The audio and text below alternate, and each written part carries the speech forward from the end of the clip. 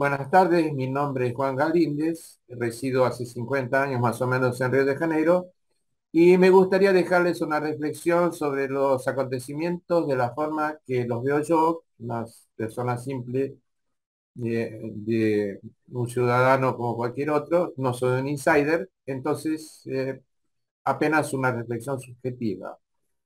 Eh, les aclaro que de los de los dos contrincantes, particularmente yo siempre me he inclinado más por Bolsonaro, eh, porque considero que tiene un discurso, por lo menos el discurso, este, resuena eh, de alguna forma con los valores que los cuales yo eh, creo, que son los valores de la patria, los valores este, del cristianismo y los valores morales a los que uno está acostumbrado.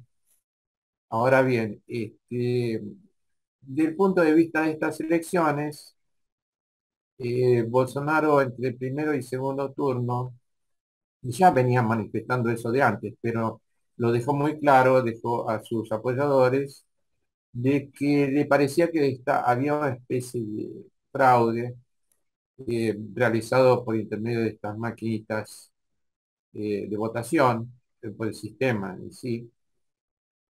Pero decidió, decidió este, presentarse al segundo turno. y particularmente a mí me parece que si este, ahora está, continúa a decir ahora, después del segundo turno que perdió, por una margen muy reducida, este, continúa a insistir, o por lo menos sus apoyadores, de que hubo realmente fraude, lo que es posible realmente, dada a los antecedentes que tenemos con la elección norteamericana, por lo menos, y otras elecciones en Venezuela, en otros lugares, eh, esos sistemas son pasibles de realmente. Lo peor de todo es que no hubo forma, eso es que llama mucho la atención, este, Bolsonaro, su gobierno no tuvo forma de penetrar en lo que ellos llaman del cofre secreto, donde se guarda el, programa de votación, o sea, eso, eso se mantuvo en una entidad que se llama eh, Superior Tribunal Electoral, acá eh, hay un grupo informático, ese grupo informático preparó el programa de acuerdo con las instrucciones del fabricante de las máquinas, pero ese programa no, no, no tengo entendido, puedo estar equivocado, de que haya sido revisado por terceras personas o por expertos, lo cual entre el primero y segundo turno, antes de Bolsonaro decidirse a, a enfrentarlo a Lula, debería, si él tenía dudas, haber insistido, buscar una forma y en el límite de negarse a, concurrir al segundo turno. Pero no lo hizo, este, inclusive hubo un debate dos días antes en Arreglobo, que tiene grandísima penetración. Este, considero que no le fue muy bien, inclusive, porque la Arreglobo este, tiene una enemistad que es recíproca, que, o sea, eh, Bolsonaro siempre se manifestó enemigo de, la, de esta red de contra un medio muy importante acá de Brasil, el más importante de todos. Y es justamente ahí que hubo el último debate con Lula, cara a cara. no, no, no, no le fue tan bien. Podía haber ganado los votos que le faltaron si él hubiera estado mejor ahí. Pero eso es una cuestión de observación particular mía. El hecho es que durante la tarde del domingo a las cuatro y media, cinco, él estaba al frente con más del 52%, y de repente comenzó a perder, perder, perder, perder, y hasta llegar en ese resultado marginal, que despierta cierta sospecha porque tipo así estaría todo preparado como para que el margen sea chico y no reclame. medio, me parece a mí. Pero el hecho es que, bueno, si, si, si, si estuvo de acuerdo en jugar eh, las reglas del juego y perdió, bueno, ¿qué va a hacer? se buscará la forma de, hacer una oposición dentro de la legalidad cuando comience el gobierno de Lula. Es lo que yo pienso. Ahora, durante todo este periodo de tiempo, si eh, se hizo una campaña política este, de los dos lados, y yo diría más del lado de Bolsonaro, una campaña medio que agresiva, yo particularmente no, no, nunca estuve de acuerdo con eso, pero lo que pasa es que hay que colocarse, en, no sé, en los que planifican esto, que lo ven al pueblo brasileño con una cierta como absorbente de un cierto tipo de propaganda y, no de otro, a mí me pareció siempre que falta explicar bien qué es el comunismo y no buscar este, explicarlo por, por comparaciones que a veces no son correctas, como ser en el caso de Argentina, que a mí me parece que si bien este gobierno de Cristina y, Fernández sean de corte netamente marxista, la historia, la historia de, la decadencia argentina no es por culpa del comunismo y sí por culpa del capitalismo salvaje. Y eso es lo que yo pienso, perdónenme si yo estoy equivocado, que yo, lo veo de esa forma. O sea, que a mí me digan que el FMI, Banco Mundial y los acreedores buitres nuestros son comunistas, me parece muy traído los pelos. Entonces yo lo veo por ese lado. Y Bolsonaro nos colocó a los argentinos, al país, en la misma, este, en el mismo recipiente, vamos a decir así, que Venezuela, que Nicaragua, que Cuba, y no me parece correcto. O sea, y el enfoque, que estamos pasando hambre, necesidad, qué sé yo, eh, de una forma me parece muy burda, y no fue al, digamos, a la raíz del núcleo del asunto de qué explicar qué es el comunismo existen un montón de, fuentes, el libro negro del comunismo, que se podría haber este, de alguna forma desmenuzado fácil para el pueblo para que se entienda, y no se llegó a hacer eso. Se parte del principio que el pueblo no entiende, entonces se hacen propaganda de tipo eh, muy burdo, eso en, mi opinión. Y por otro lado, una cosa muy mala, en mi criterio, es 50-50, eh, que es peligroso, en determinados lugares puede llevar eh, en el límite, dependiendo de cómo se den las cosas a una guerra civil. Y no me parece, a mí particularmente no me parece que ese sea el camino, pero bueno, este, Bolsonaro es muy confrontativo y, el, digamos, el, el, motivo por el cual mucha gente lo acompaña. Si uno va a analizar quiénes son las bases de sustentación de Bolsonaro, tenemos la clase alta, las grandes empresas y las medianas empresas, la fuerza de seguridad y la iglesia evangélica. Y ahí tenemos que hacer este hincapié que es un cristianismo diferente del nuestro, la iglesia evangélica. Hay 20, 22 millones de votos y no es negligible. Casi la mitad, digamos el 40 por 30% del electorado de lo más, que se llama, los cálculos. Este, no es negligible, es, es, bastante, bastante poderosa. Y esto porque Bolsonaro tiene un discurso donde eh, ha reintroducido eh, a Dios y este, por lo menos de palabra, aunque no profundamente, que él, no él, este, ha colocado eh, el sentimiento cristiano en la política. También hay que tener en cuenta que a mí particularmente me parece que no tuvo el apoyo que esperaba de las Fuerzas Armadas, aunque parece mentira. Una situación muy diferente fue en, el 64 porque los militares brasileños tenían sus buenos motivos para hacer la revolución, pero también tenían la flota, la cuarta flota norteamericana estacionada en la bahía de Guanabara, en, las aguas internacionales, bien enfrente del río, que, en aquella época era capital o había sido capital y era el foco, vamos a decir así, de la sublevación marxista. Entonces, digamos, como que estaban bien apoyados. Y esta vez, este, al no estar Trump, este gobierno que tiene Estados Unidos ahora está más, este, y sabemos todos que es, de tendencia más izquierda, este, y por lo tanto ya inclusive fueron los primeros a felicitarlo a Lula, como también lo felicitó Lula Meloni de Italia, lo felicitó la presidenta de Hungría, todas cosas que llaman poderosamente la atención de un nacionalista, no a mí porque yo ya eh, tenía las personas estas de Vox en España. Eh, quiero decir, son nacionalismos que no sé cuál, sé que hubo una grabación de un programa muy interesante, Tele1, eh, que analiza un cierto nuevo nacionalismo, no lo vi todavía, pero me atrevo a decir que no sé, no, no sé cómo será este nuevo nacionalismo, que, que yo lo veo que, que necesariamente tiene que incluir el, el factor hebreo para poder este, tener suceso. Eso yo lo veo de esa forma, este, que me parece muy sui generis para un nacionalismo, pero bueno, Y lo que no podía dejarles de comentar, porque ya me parece que los tiempos se agotan, son dos cosas. Una es una amenaza que le hizo Lula en el segundo debate a Bolsonaro con relación a los 100 años de secreto o sigilo que él impuso a determinadas actitudes, Bolsonaro impuso, de guardar secreto, secreto de Estado durante 100 años. Yo hice una lista para no poder, no estar perdiendo tiempo y acordarme de memoria porque no me acordaba. Y les puedo decir que de los seis o siete puntos, apenas dos me parece que podían, si se llega a romper ese secreto, podían causarle problemas en el futuro a Bolsonaro, que serían las llamadas rayadillas, que me parece que sí existían, de uno de los hijos de, Bolsonaro, que sería este, Flavio Bolsonaro, que es senador, eh, y estaba siendo investigado por, por la Receta Federal, que es, las, es el símil de la FIP nuestro. Entonces, de repente, por influencias palaciegas, este, estos, estos procesos se colocaron en, un cajón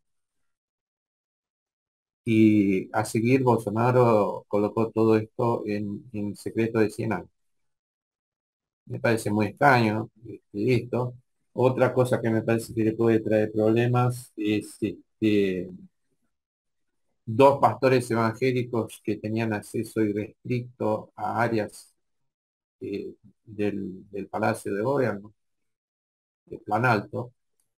La agenda, o sea, el movimiento de estos dos líderes evangélicos, dos pastores, eh, uno se llama Arilton Moura y el otro Gilmar Santos. Estos dos señores este, están acusados de, malversar fondos de la, del Ministerio de Educación y los trámites que ellos hacían junto a ministros o poder ejecutivo los realizaban en, diversas visitas que hicieron y tenían libre tránsito aparentemente. Entonces, esta agenda, porque queda todo grabado, está todo registrado, esta agenda es que eh, entró en el secreto. Por último, les quiero comentar eh, que los mercados, por lo menos hasta el día de hoy, cuando digo los mercados me refiero a la bolsa de valores, a la especulación financiera, aquello que todos nosotros conocemos, que no preciso mencionar quiénes están por detrás, porque los que acompañan tele uno saben perfectamente bien, y a veces algunos de ustedes me haber visto opinar en comentarios antiguos de videos de que, siempre acompañé Tele1, no hace falta decir, es redundante, quiénes son, los poderes fácticos, y cómo está estructurada esto, ya, ya sabemos con bastante precisión. Ya tenemos una idea de qué es BlackRock, de quiénes son Vanguard. Eh, mi opinión es, por ejemplo, que China es, es un ídolo de pie de barro porque en el fondo todas las empresas de Estado chinos comparten compactúan, están eh, su paquete accionario, todas las empresas, te digo, ¿eh? Eh, están vinculadas a Vanguard y a BlackRock. como ejemplo, la fábrica, una de las fábricas más grandes de automóviles, chino, este, se llama Great Wall Industries, tiene como socio mayoritario, o por lo menos 50 y 50, a Vanguard y a BlackRock decía que los mercados brasileños están tranquilos. Esto me llama la atención, porque la propaganda contrae a Lula es de un, un comunismo aberrante, un futuro negro para Brasil. Es que eh, olvidándose de que, por ejemplo, eh, lo que sucede en Venezuela nace de, un viraje a la izquierda de, de Chávez y luego de Maduro, con el consentimiento de las Fuerzas Armadas, porque hubo la creación de una milicia popular. Cuando uno escucha hablar de milicia popular, sabemos que lo que viene es malo. Volviendo al asunto, este, este cuco, este gran monstruo que se ha creado en la cabeza de los bolsonaristas, de los bolsonaristas que, están así fanatizados, es con el miedo de, Lula, del, PT, toda esta gente, este, llevarlo a Brasil a una posición, destruirlo económicamente, puede ser que yo esté equivocado, en el futuro ustedes me condenarán y bueno, pero yo no soy nada extraordinario, es mi análisis.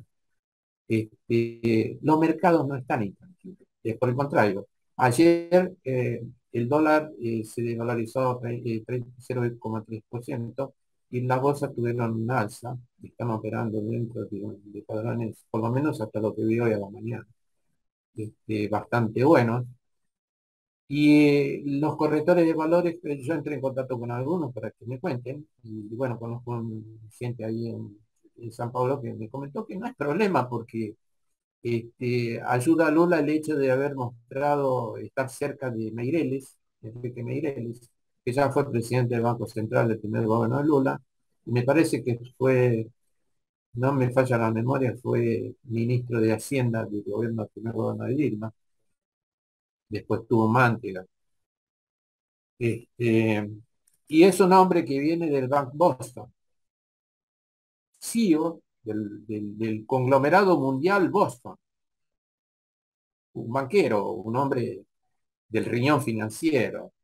Eh, si no me ah, en esa época que él asumió la presidencia del Banco Central Brasilero, convidado por, convidado por Lula, estuvo 15 días Lula pensando quién iba a colocar en el Banco Central. Y eso yo me acuerdo, que había un compadre espera, él comenzó el gobierno, no, no nombraba creo que no nombraba ni ministro de Economía ni, ni presidente del Banco Central. Pero apareció Mereles de paracaídas, obviamente se lo colocó la banca internacional, para asegurarse que también el tipo no haga ningún tipo de despelote, porque en el fondo toda esta gente opera para el mismo patrón. Esa es, mi humilde opinión.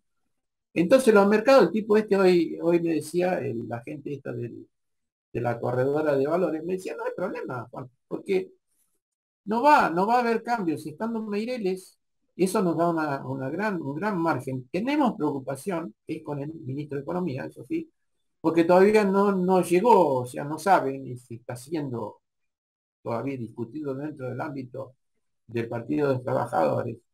Y tienen miedo, sí, de un nombre que sería el de Aloisio Mercadante, que es una figura altamente ideologizada, es un hombre relativamente joven, sesenta y pico de años, era muy, joven cuando de los primeros gobiernos de, muy dinámico en aquella época, pero es un tipo que es izquierda, izquierda total. O sea, a este, a este si Lula le pone algún cargo, especialmente el Ministerio de Economía, sí va a haber despelote dentro de los mercados eh, financieros. Pero de la manera que está con Alckmin, que también es un hombre vinculado a a los negocios, no habría problema. El PIX es otra crítica que yo tengo a Bolsonaro, porque yo creo cuando él habla de que él está enfrentado con los globalistas. También no se puede enfrentar así, muy a pecho, digamos, descubierto, porque lo hace en pelota. Pero eh, me llama la atención porque sabemos que él compactuó con los entes, básicamente con Davos, con el Foro Económico Mundial que está atrás de este reseteo que mucha gente no cree, no cree, parece mentira. No hay forma de hacerlo entender que esto es verdad. Eh, y introdujo hace un año y pico el PIX, que sería todo, todo lo que el, el BIS, el Bank of International Settlement de Brasilia, y los órganos de Davos quieren con relación al testeo vamos a hacer un experimento, una prueba con relación a la moneda digital.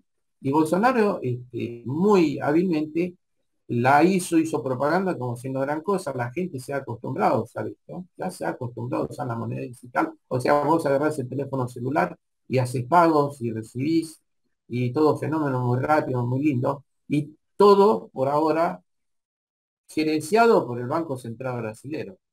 supongamos que es un banco que no esté, que no tenga su centro de cómputo repercutiendo en Europa o en Estados Unidos. Vamos a suponer que es brasileño realmente. Pero es muy fácil que si no lo es, lo sea con, con el giro de una llave. ¿Verdad? Entonces, me parece medio contradictorio. Lo deben haberlo obligado, muy, pero no, no sé, no sé, no.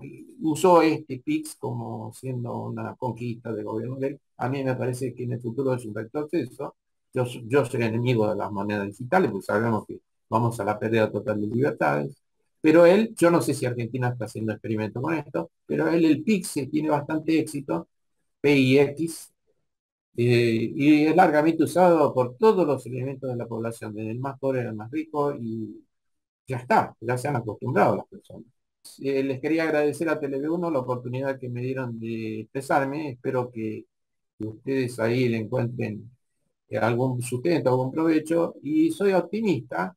Espero que se pueda hacer una que se pueda hacer este, una crítica constructiva al gobierno de Lula a partir del año que viene, que políticamente se pueda eventualmente impedir que, que se avance en la destrucción que muchos creen que va a ocurrir por ser un gobierno de corte marxista. Entonces, eh, le agradezco a TV1, a vos Eduardo, te agradezco que me hayas ofrecido esta oportunidad, a Juan Manuel, y bueno, estoy a disposición para lo que quieran.